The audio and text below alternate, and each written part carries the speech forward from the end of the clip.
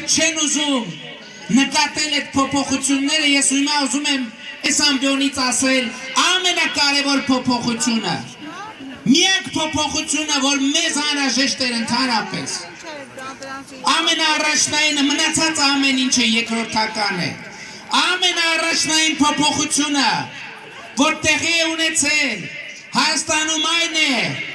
որ որոշումները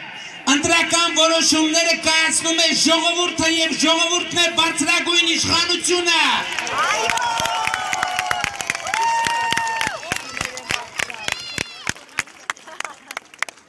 Նրանք, ովքեր չեն տեսնում այս փոփոխությունը,